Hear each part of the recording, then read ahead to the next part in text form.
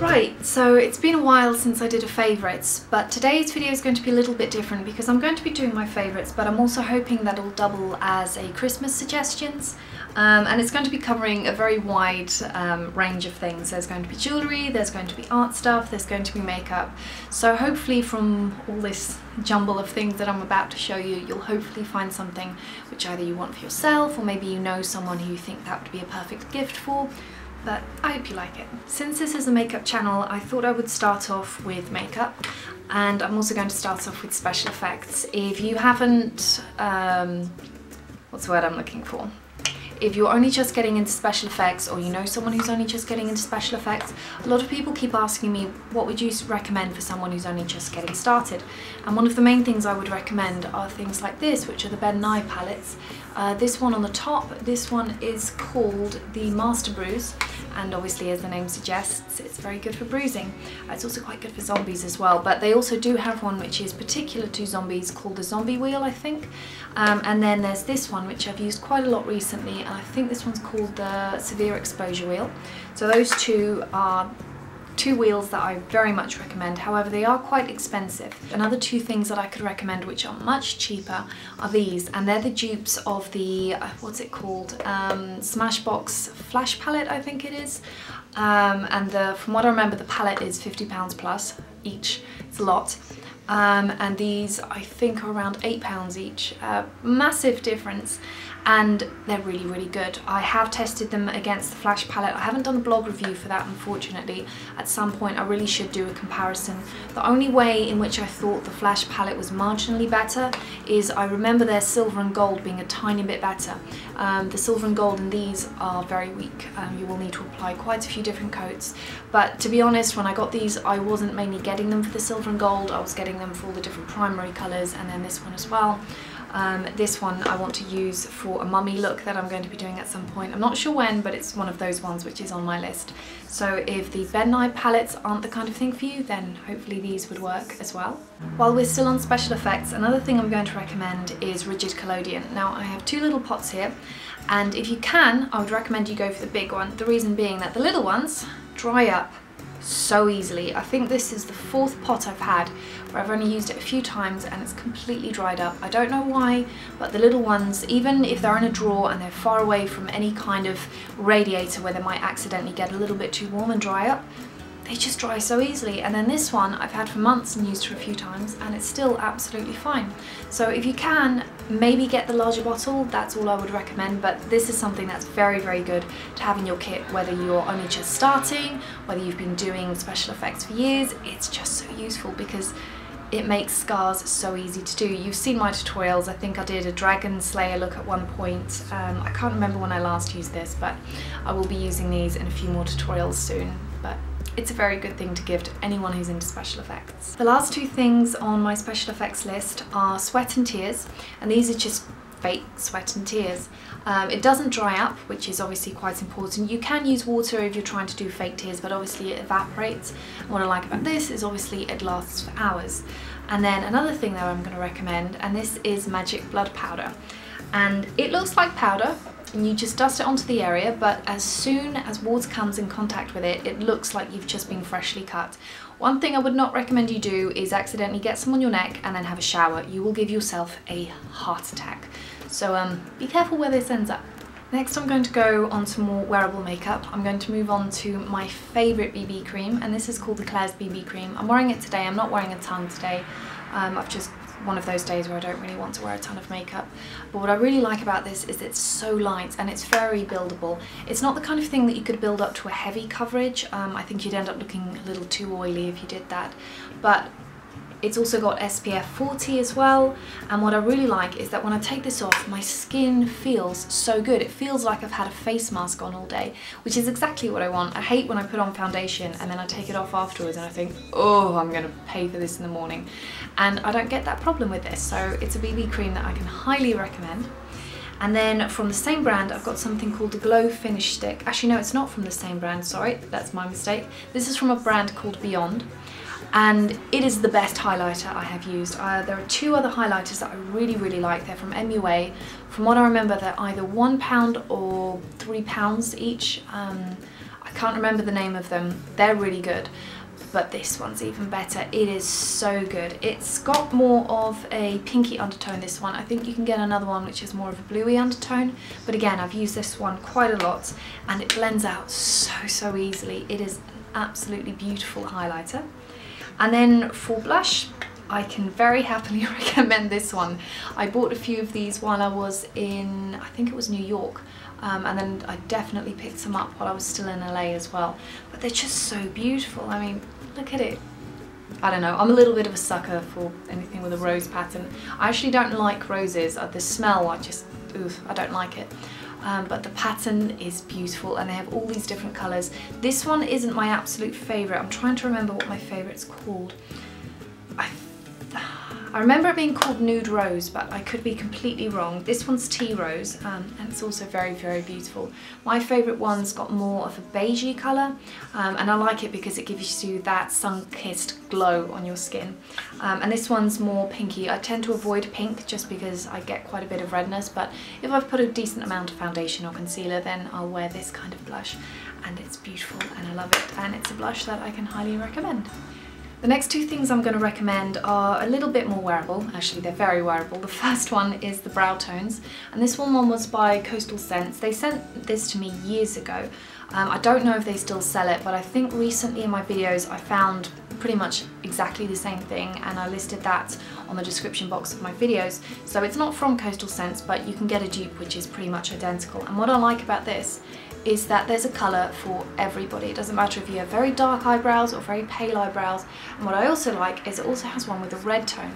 And these two colours are the ones that tend to drive me mad when I'm doing makeup on other people because it's such a nightmare to find them. Fine, you can find things like black very easily and to be honest for myself what I use is I use an MUA eyeshadow. This is the kind of thing that I think anybody who's just getting into makeup or someone who's trying to build up their kit to be a professional makeup artist, especially a bridal makeup artist, I think they would love this. So yes, this is another one I'm going to recommend. And the next thing was something that I was sent by Urban Decay a few weeks ago and I think it's their best palette. I have used some of their other palettes, I think, um, was it the original Naked palette and then the, I can't remember what the second palette was called, but this one's called the Naked Ultimate Basics and it's fantastic. It's so good, I actually bought one for my mum and my mum hates makeup. She will not wear it, but she liked this palette. This isn't necessarily something that I would recommend for someone who's a special effects makeup artist or a professional makeup artist. I like it when the pans are a little bit bigger if I'm working on someone else, just because then I don't have to be very strategic with my brush. Sometimes when you're in a hurry, it's very easy to accidentally um, pick up eyeshadow from a different eyeshadow pan if the, the, pans are very very thin like these are. So I prefer ones which are more rounded or even square and a tiny bit larger just so that I don't accidentally miss and then end up with red eyeshadow when I wanted blue though I do tend to colour code my eyeshadows so that whatever colour I do end up with it's not going to be too far removed from what I'm using but this is a palette I think anyone who's into makeup is going to love. Next we're going to move on to my skincare favourites. I don't think I've talked that much about my skincare favourites. I know one of them I definitely have recommended on my old channel, but I'm going to recommend it again just because it's so good. And this is the Era Organics Relief Cream. And this one's mainly marketed towards people with eczema and rosacea, um, but I think it's absolutely fantastic. I use this as a body cream now because recently my face cream has kind of been replaced by this one. It's the Frankincense Hydrating Cream and this one's from Neal's Yard and it is expensive. This one is a little more affordable. I can't remember the prices for all of these so what I'll try and do is I'll have these all listed in my blog post. So if you go to the link down in the description box I'll have a link of where you can get these and this one mainly sells in America. I think only recently they started to sell them in England which is good. I wish that had happened when I was buying them because I had to pay some slightly terrifying shipping fee to get it into the UK, but now I'm pretty sure that they sell on the UK Amazon as well. So if you're in the UK or if you're in Europe, that should make things a little bit easier for you. But now I mainly use this one as a body cream and it's very, very good for your face anyway.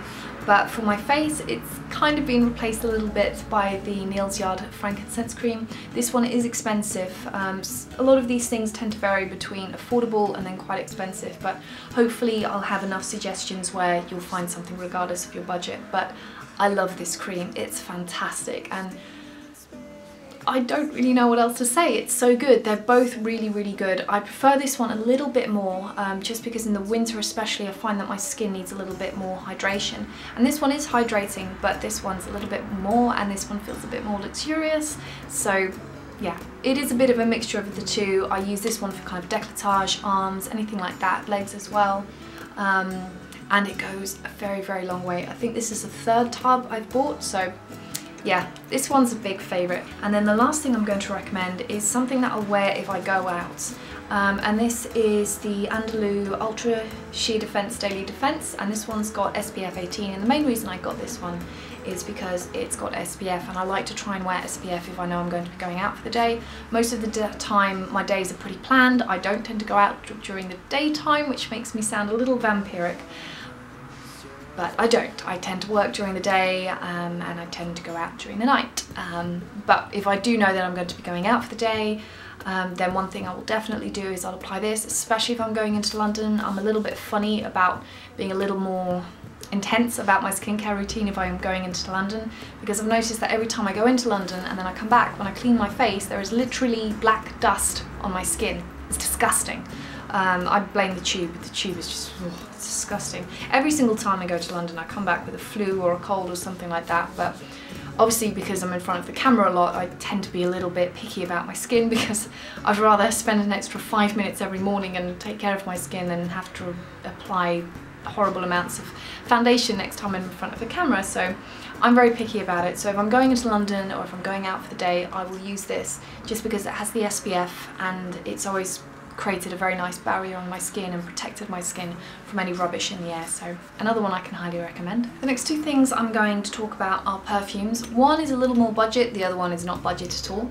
Um, the one that really isn't budget is from, and I'm going to butcher this name, I know it, Pentalagoon, I think it is. Um, and the colour, not the colour, the perfume is Equinox Bloom and this one's a very sweet floral without being a sickly sweet kind of smell. I'm not very good at describing smells. I've actually got a very bad sense of smell, which is one of the reasons I like perfume because it's one of the few things which is strong enough for me actually to be able to smell it. Um, and then this one is one that I'm sure I've blogged about. It's the Nina Ricci, what one's this one called? I can never remember. Yeah, made in France, duh some reason it doesn't actually have the name on it but obviously I will link this down in the description box. As you can see I've used quite a lot of it. I've got quite a few different perfumes and I tend to vary just because I don't like to use the same perfume every single day because I find that I get used to it and I can't smell it as well. So what I'll do is I'll kind of alternate them depending on my mood. This tends to be my weekend um, special occasions scent um, and this one tends to be going into London need a little bit of a boost type scent. Um, this one I would describe as a little more of a sultry smell and this one is a little more of a sweet smell. Um, if you want better descriptions of the smells, I'm pretty sure the respective websites will have a much better description and there's also some very good bloggers, some perfume bloggers which do some very, very good descriptions of different perfumes. Um, but I think if you like things which are a little more floral but they're not necessarily floral and sickly floral if you know what I mean then I think either of these would be a good suggestion. Before I move on to the art stuff I'm going to recommend two things which are more for reading and writing. Um, the first is, well it's not my Kindle it's more the case. Um, I really like things which are retro, vintage. Uh, I love red. Um, it's one of my favourite colours. I love that more burgundy, dark, burnt red. I think it's a beautiful colour.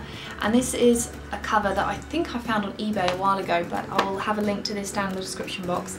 And it just makes me happy to look at it. Every time I pick it up, I'm like, it's so pretty and it's got all the lovely little floral patterns, patterns and it's embossed and it's got the gold and as some of you know I've recently got into gold big time which is quite funny because I hated it for years and then I just caught the gold disease and I don't think I'm going back. And then the other thing that I'm going to recommend is this book and it's called 500 Words You Should Know and I got this because I was on a train, my Kindle had died and I was really bored and I thought, oh, I need to read something. And I saw this and I bought it and it's fantastic. It's so interesting. It's got all these words that you don't always think about and they've also got very good descriptions. And what I like doing is every few days or if I'm writing, what I'll do is I'll go through and I'll just have a look at the words and it's not something that I'll necessarily try and put into my writing but it's something that I try and think about and just try and broaden my vocabulary because what I like about words is that you, there's always a word which is so specific and so perfect for what exactly you're trying to describe and sure you can describe it in simpler, shorter words. But what I like about slightly longer words and words which aren't used very much is that they tell a much more precise story. And so that's one of the reasons I really like this book. The next two things I'm going to talk about are going to be art things. The first one is from a company called Faber and Castell and I've used their pens for a very very long time. They're really really good. I think I bought the first set of pens in Hobbycraft um, just because I seen them and I'd been using polychromos, not polychromos, what are they called? Pro markers for years. Um, and I was looking for something which would have a tiny bit more of a finer nib um, and something that wasn't quite so thick. I mean, what I really like about the Pro markers is they're great for things like architectural drawings. I used them to death while I was in uni for graphic design.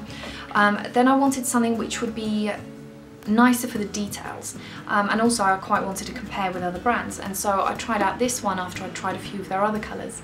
I think I bought a grey set and it was so good, it was so good for some of the concept drawings I was doing for Outsider. And this one is their full set. Obviously this is the kind of thing that you can get anyone who's an art addict. What I really like about this is that it comes out like this in these little layers and then obviously they're going to come out wonky because, you know, for some reason they just want to make me look bad but normally they come out very nicely and very smoothly and they've got a really good selection of colours. And like I mentioned the nibs are very fine so I'll see if I can show you.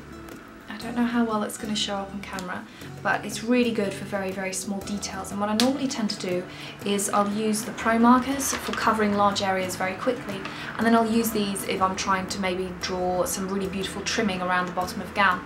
So if I'm doing some of the concept design for some of the characters in Outsider, what I'll do is I'll use the Pro markers just to get the basic colours in the background, in the dress, maybe the skin tone, and then I'll go in here for all the tiny little details um, because I find the nib is a tiny bit better for that. These are also some other pens, but then also some cases that I can recommend because I think a lot of people who like to do art like to keep things generally organised. Maybe when they're painting or they're drawing, everything becomes a complete disaster. But normally I like to keep everything in a box or in its own case. And so I found these cases on Amazon. And what I like is that I can arrange them like this and they can have all the different brands. These are some more of the Faber and Castell pencils. These are duplicates of the colours that I tend to use an awful lot.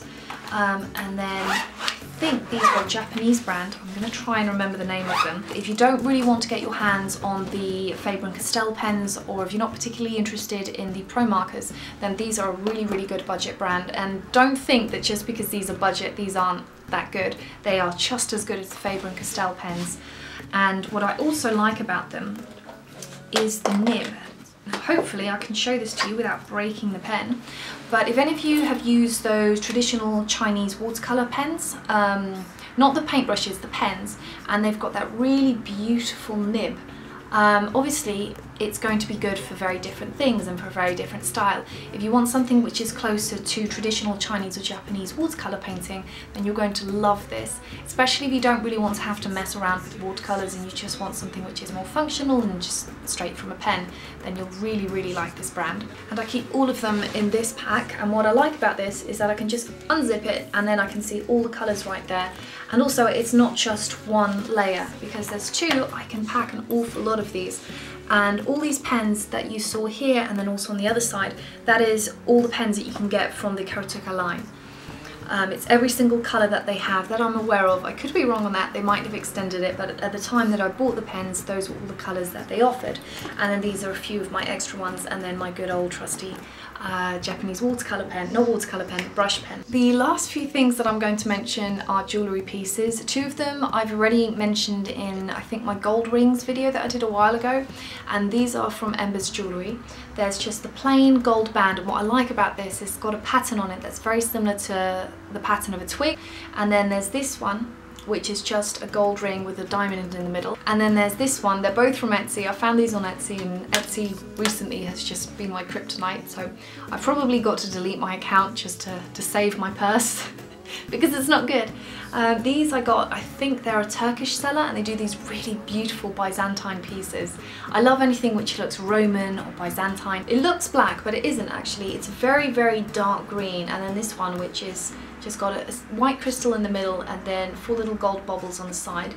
And they're beautiful. I love them. They're a very happy addition to my collection. And then there's this one, also from Etsy because I have a problem, but I can't say no to pretty jewellery, which I've really got to stop. But this one's just a gold necklace and then it just has some very, very small pearls on it. And I really like this one because it's the kind of thing that you can wear casually, but you can also wear it to a very nice event if you're more dressed up, but it's that simple, understated elegance that I really like about it. And even these, I know they're quite big and bulky, and to be honest, most of the time I'll wear double the amount of jewellery on my fingers. I like to wear a lot of different rings, but today I thought I should probably keep it simple. And then the last things that I'm going to mention are these. And these are just some lovely drop golden earrings. I like two extremes. I like jewellery which is very delicate and dainty, and then I like jewellery like this which is very bold and dramatic. So I tend to alternate between the two. Those are my favourites and my Christmas suggestions. I hope you like them. I hope there's a, a good few suggestions. It's a little bit of a mishmash of things, but my life is a bit of a mishmash of things. There's uh, not really much I can do about that. But anyway, I hope you liked the video and I'll have a new video for you soon.